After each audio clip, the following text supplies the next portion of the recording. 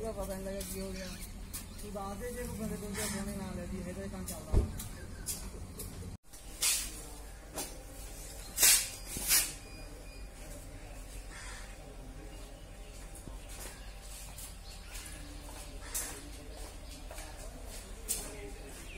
ਕੋਈ ਚੈੱਕ ਕਰਕੇ ਨਾ ਮੈਂ ਚੈੱਕ ਕੀਤੇ ਕੈਮਰੇ? ਆਹੋ।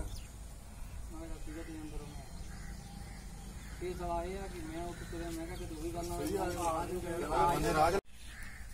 ਕਿਉਂਕਿ ਇਹ ਸੀਗੇ ਮੈਂ ਦੇਖਦਾ ਸੀ ਕਿ ਇੰਟਰਨੈਟ ਬੰਦ ਹੋਇਆ ਮੈਂ ਕਿਹਾ ਕੋਈ ਗੱਲ ਨਹੀਂ ਪਾ ਲਾਂਗੇ ਜਿਹੜੀ ਗੱਲ ਇਹ ਚੰਗੀ ਜਿਹੜੀ ਗੱਲ ਆ ਇਹ ਪਾ ਲਾਂਗੇ। ਇਹ ਰਾਤੀ ਨੂੰ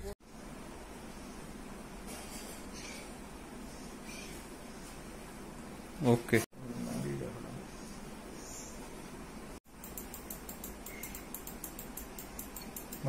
ਨਾ ਬੈਕ ਕਰਕੇ ਫਾਸਟ ਕਰ ਦੇ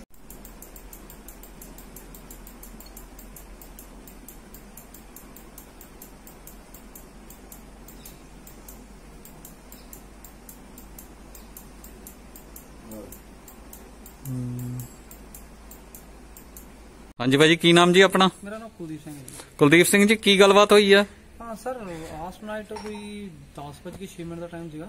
ਤੇ ਕੋਈ ਬੰਦੇ ਅਨਨੋਨ ਬੰਦੇ ਹੀ ਸੀਗੇ ਮੋਟਰਸਾਈਕਲ ਤੇ ਸਿੱਧਾ ਇੱਧਰ ਮੇਰੇ ਫਾਰਮ ਨੂੰ ਗਏ ਆ ਉਧਰੋਂ ਵਾਪਸ ਯੂਟਰਨ ਲੈ ਕੇ ਆਏ ਤੇ ਆਂਦੇ ਮੇਰੇ ਇੱਥੇ ਫਾਇਰਿੰਗ ਕਰਕੇ ਗਏ ਆ ਕਿੰਨੀਆਂ ਫਾਇਰਾਂ ਹੋਈਆਂ ਦੋ ਫਾਇਰ ਕਿੰਨੇ ਬੰਦੇ ਸੀ ਸਰ ਤਿੰਨ ਬੰਦੇ ਕਾਤੇ ਸੀ ਮੋਟਰ ਬਾਈਕ ਤੇ ਕੋਈ ਪਹਿਚਾਣ ਹੋਏ ਨਹੀਂ ਪਛਾਣ ਨਹੀਂ ਮੂੰਹ ਸਿਰ ਬੰਨੇ ਸੀਗੇ ਸੀਸੀਟੀਵੀ ਕੈਮਰੇ 'ਚ ਆਈ ਫੋਟੋ ਵੀਡੀਓ ਆਈ ਹੈ ਜੀ ਤੇ ਇਹਦੀ ਕੰਪਲੇਂਟ ਕੀਤੀ ਕੰਪਲੇਨ ਹਾਂ ਜੀ ਐਸਐਚਓ ਸਾਹਿਬ ਆਈ ਸੀ ਸਵੇਰੇ ਡੀਐਸਪੀ ਸਾਹਿਬ ਵੀ ਆਏ ਸੀਗੇ ਤੇ ਸ਼ੱਕ ਕਿਸੇ ਤੇ ਸੱਚ ਸ਼ੱਕ ਦਾ ਜੀ ਮੇਰਾ ਕਿਸੇ ਨਾਲ ਪਿੰਡ ਦੇ ਵਿੱਚ ਕੋਈ ਝਗੜਾ ਨਹੀਂ ਗਿਆ ਤੇ ਮੇਰੇ ਸਹੁਰੇ ਪਰਿਵਾਰ ਨਾਲ ਥੋੜੀ ਡਿਸਪਿਊਟ ਚੱਲਦਾ ਹੀ ਆ। ਉਹ ਕੋਰਟ ਕੋਰਟ 'ਚ ਕੇਸ ਆ। ਤਾਂ ਮੈਨੂੰ ਕੋਈ ਆਪਣੇ ਦੋ ਬੰਦੇ ਤੇ ਸ਼ੱਕ ਆ। ਕੀ ਤੁਹਾਨੂੰ ਲੱਗਦਾ ਕਿ ਉਹਨਾਂ ਵੱਲੋਂ ਇਹ ਕੀਤਾ ਗਿਆ? ਹਾਂਜੀ 99% ਮੈਨੂੰ ਉਹਨਾਂ ਤੇ ਡਾਊਟ ਆ ਜੀ। ਤੇ ਤੁਸੀਂ ਜਿਹੜੀ ਕੰਪਲੇਂਟ ਦਿੱਤੀ ਉਹਦੇ ਵਿੱਚ ਨਾਮ ਵਗੈਰਾ ਦੱਸੇ ਆ?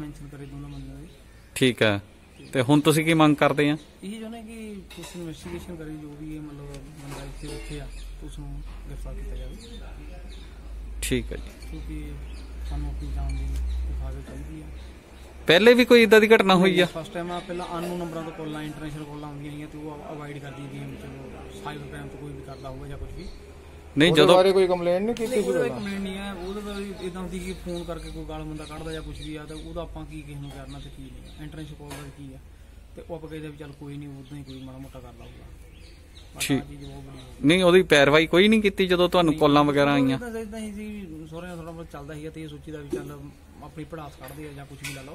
ਹੂੰ ਹੂੰ। ਜਿਹੜਾ ਸਾਲਾ ਉੱਥੇ ਅਮਰੀਕਾ ਜਾ ਉਹ ਚੀਜ਼ ਨੂੰ ਲੈ ਕੇ ਥੋੜਾ ਬਹੁਤ ਸੀਗਾ। ਠੀਕ। ਫਿਰ ਉਸ ਤੋਂ ਬਾਅਦ ਜਦੋਂ ਸਾਡਾ ਕੋਰਟ ਚੱਲ ਗਿਆ ਤਾਂ ਫਿਰ ਕੋਈ ਗੱਲਬਾਤ ਹੀ ਠੱਪ ਹੋ ਗਈ। ਠੀਕ ਹੈ। ਹਾਂਜੀ ਸਰ। ਸਰ ਕੀ ਮਾਮਲਾ ਜੀ? ਸਹਿਮ ਵਾਲਾ? ਸਹਿਮਲ ਹੈ ਜੀ। ਅੱਜ ਸਵੇਰੇ ਮੈਨੂੰ ਸੂਚਨਾ ਮਿਲੀ ਸੀ ਕਿ ਰਾਤ ਸਹਿਮ ਪਿੰਡ ਗੋਲੀ ਚੱਲੀ ਆ। ਜਿੱਥੇ ਜਾ ਕੇ ਪਤਾ ਕੀਤਾ ਉੱਥੇ ਕੁਲਦੀਪ ਸਿੰਘ ਪੁੱਤਰ ਸੰਤੋਖ ਸਿੰਘ ਵਾਸੀ ਪਿੰਡ ਸਹਿਮ ਨੇ ਆਪਣਾ ਬਿਆਨ ਲਿਖਾਇਆ ਕਿ ਰਾਤ 10:06 ਮਿੰਟ ਦੇ ਕਰੀਬ ਮੋਟਰਸਾਈਕਲ ਸਵਾਰ ਤਿੰਨ ਅਣਪਛਾਤੇ ਵਿਅਕਤੀ ਉਹਨਾਂ ਦੇ ਗੇਟ ਵਿੱਚ ਦੋ ਫਾਇਰ ਕਰ ਗਏ ਨੇ। ਤੇ ਸਰ ਸੀਸੀਟੀਵੀ 'ਚ ਕੋਈ ਆਈ ਵੀਡੀਓ ਸੀਸੀਟੀਵੀ ਦੇ ਵਿੱਚ ਹੀ ਆਏ ਨੇ ਤਿੰਨ ਨੌਜਵਾਨ ਜਿਹੜੇ ਤੇ ਕੀ ਕਾਰਵਾਈ ਕਰ ਰਹੇ? ਕਾ- ਜਿਸ ਤੇ ਮੁਕੱਦਮਾ ਨੰਬਰ 96 ਅਹ ਮਿਤੀ 11/5/2021 ਅੰਡਰ ਸੈਕਸ਼ਨ 336 34 ਆਈਪੀਸੀ 2554 ਅਸਲ ਐਕਟ ਦੇ ਤਹਿਤ ਪਰਚਾ ਦਰਜ ਕਰਕੇ ਜਿਹੜੀ ਤਫਤੀਸ਼ ਅਮਲ ਵਿੱਚ ਲਿਆਂਦੀ ਜਾ ਰਹੀ ਆ। ਤੇ ਸਰ ਉਹਨਾਂ ਨੇ ਕੋਈ ਸ਼ੱਕ ਵੀ ਜ਼ਾਹਿਰ ਕੀਤਾ ਕਿ ਕਿਸੇ ਕਿੰਨੇ ਉਹਨਾਂ ਤੇ ਜਿਹੜਾ ਹੈਗਾ ਇਦਾਂ ਦਾ ਕੰਮ ਕੀਤਾ ਹੈਗਾ? ਉਹਨੇ ਸ਼ੱਕ ਜ਼ਾਹਰ ਕੀਤਾ ਕਿ ਪਿਛਲੇ ਸਾਲ 20 ਮਈ ਨੂੰ ਉਹਦਾ ਵਿਆਹ ਹੋਇਆ ਸੀਗਾ ਰਜਵੰਤ ਕੌਰ ਪਿੰਡ ਚੁਲੱਦੇ ਦੀ। ਤੇ ਜਿਹਦੇ ਨਾਲ ਉਹਦਾ ਜੂਨ ਦੇ ਵਿੱਚ ਹੀ ਅਣਬਣ ਹੋ ਗਈ।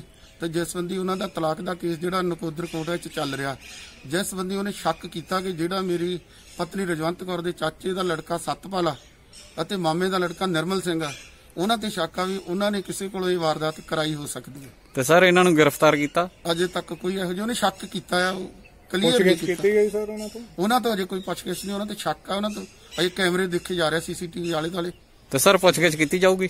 ਸਾਰੀ ਜੋ ਤਫਤੀਸ਼ ਆਪਣੇ ਕੋਲੇ ਸਫਾ ਮਿਸਲ ਤੇ ਆਊਗੀ, ਉਹਦੇ ਤਹਿਤ ਕਾਰਵਾਈ ਅਮਲ ਵਿੱਚ ਲੈਂਦੀ ਜਾਊਗੀ। ਠੀਕ ਹੈ ਸਰ।